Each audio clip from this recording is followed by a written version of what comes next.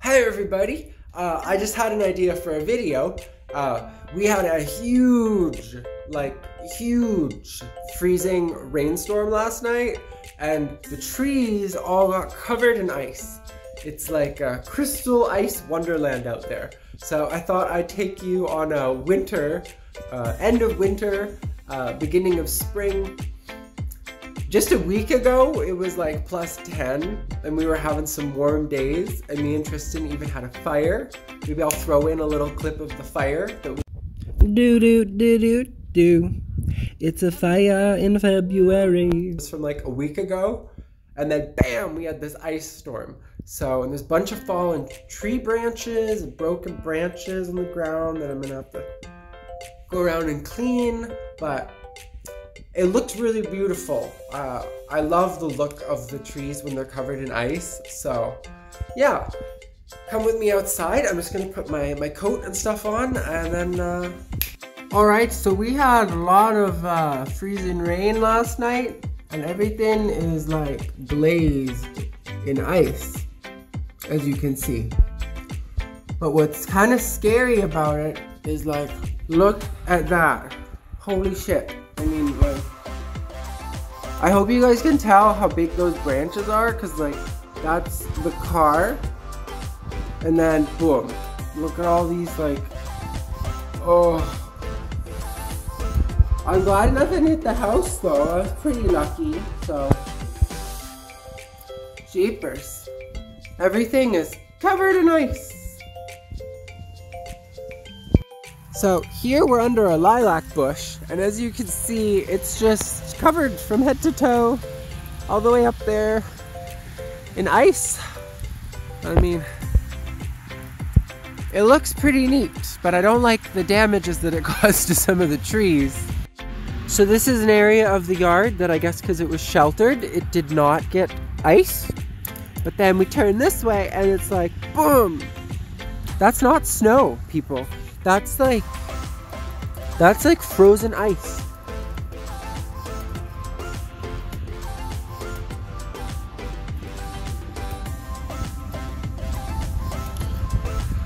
Wow. Uh, this is a rose of Sharon. Um, it almost looks like it's glowing because the ice on it, eh? I think it looks really pretty. I love, even when I was a little kid growing up as a child, I loved when the trees would get covered in ice. I just think it looks so neat. I don't know how the plants feel about it though. All right, and where me and where me and Tristan live, uh, there's a big field, and like, look at this, boom. That's all my garden plants. Like I got, cause I got them planted all in a row, right beside the property line, and like, it's like normal Iceland.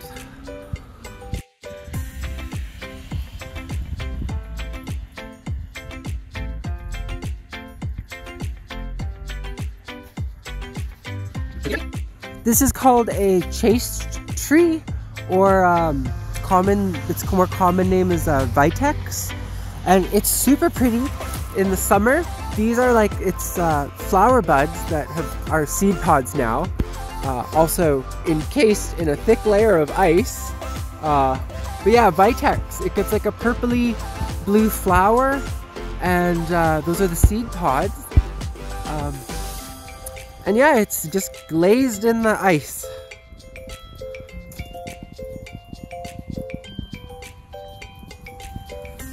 Oh, and then this is the the Tri Beach, which I hope it's okay from this. Because I mean, like, look, the owl.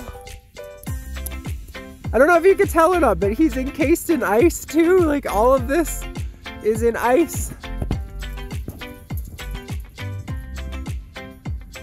That's a little uh, metal uh, cage I put around the uh, the Tri Beach just to keep rabbits away. And look at all the ice on it. Oh, none of the branches broke, so that's good. But I mean, look at how much ice.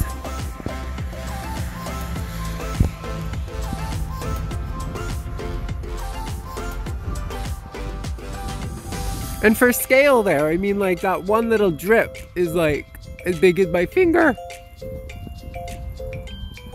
Oh.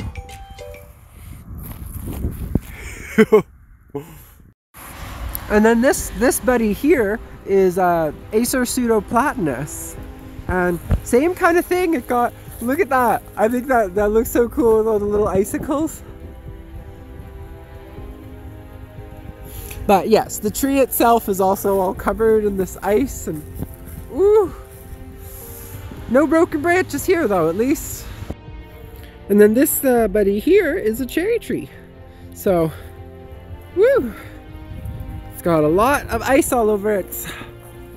Everything's just glazed, but it's starting to melt now. And it's later today. It's even supposed to get up to like almost plus 10. So it'll all, it's, I can hear it melting. That's good. And then uh, right behind me there, that's a Nootka, uh, uh, a Chamaecyparis nootkatensis, uh, or just a Nootka for short. It's uh, got a cool little weeping, drooping habit. And yeah, it got covered nice too, but no damage there at least, so spring's just around the corner. All right, and then I thought I'd start with my foot there, just for scale. So this is an Austrian pine, and you don't seldom see it in its crystal form. And I mean, this is not a huge tree, but it's about eight feet tall. Uh, and yeah, it's just encased in ice from head to toe. And I mean,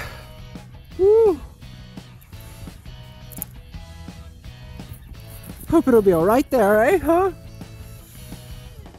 That's an icy tree. Alright, so this is the edge of the garden bed, and right here, uh, what looks like just a bunch of ice is uh, three different types of sea buckthorn. I got uh, two different types of females and one male, because uh, they're not like self-fertilizing, so you need a male and female. So, whoa, look at that. Winter wonderland or what, eh? But I, I feel actually very happy and optimistic about this because even though there was some damages, um, you know, spring is right around the corner. And, you know, like if we had this kind of ice storm at the beginning of winter, I might not have been so optimistic about it, but, you know, spring flowers are soon, so good to take in the last uh, bit of the beauty of winter. And here we have some ornamental grass, which even the grass, I was pretty surprised that it didn't uh, it didn't tip over. Right. Isn't that pretty cool? It's like a yellow encased in ice. So, yeah, neat. But yeah, I hope you enjoyed my little video there. I'll end with the, uh, look at these branches. Those are like 10 meters long. Like they're like at least two or three times the length of the car. And I don't want to stand under here too long just in case more branches break or something. So, but it is starting to melt now, so that's good at least. Um, yeah, if you like this video, give me a, a thumbs up there. Uh, and leave me some comments. Uh, what are some of your favorite types of plants? Uh, thinking about spring and summer. Uh, flowers, flowering trees. Uh, up to you, like what's your favorite? Oh my goodness. That's a huge branch. Like, oh. I'm gonna need Tristan's help to carry this. Did you know that Google makes a phone? Not, not me. I've only ever heard of Telus and Bell. Flip phone. Oh, I still use a landline. All right, so it's actually it's a few days later, and all the ice and stuff has melted, but Tristan's home, so I thought I would uh, show you guys for scale. So there's there is quite a bit of these fallen branches. Ah, you can see up there where the the branch broke, the big one there. So, yep, that's the maple tree you got a hit. And I don't know if you can see from here or not, but the the apple tree and the mulberry too. So let's go have a closer look at that. Alright, and as you can see, the apple tree, that's like almost 50% of it, right? Like, if I look at the, the trunk there, like, So, but once me and Tristan clean clean it up and do some trimming, it will look still fine. There's still lots of tree left, but oh, it's just it's, it was quite shocking. I gotta say that was quite the ice storm. And then over here is the mulberry tree, and I mean, look at that. Hey, Tristan, point again, yeah? See? Like, look how long that fucking branch is. That friggin' branch. Oh. But yeah, um, thanks for watching, and I just thought I'd share the update on the the trees there. And this is the mulberry tree. Uh, look at that branch. How, that's where it snapped there. That's quite a big branch, but there's still lots of tree left at least, and, that'll be firewood. Okay, Taylor, brace yourself because this one, uh, this one is the biggest one of them all.